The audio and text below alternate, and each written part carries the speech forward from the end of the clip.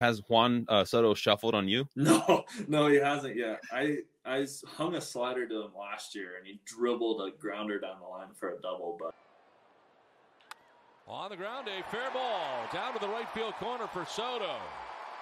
He is headed for second base as Blackmon will get it in. A double for Juan Soto.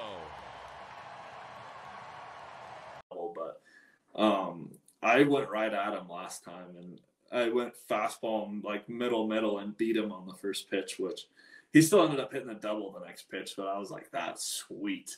The, we always joke about the shuffle. It's like, well, if he shuffles, don't throw that again.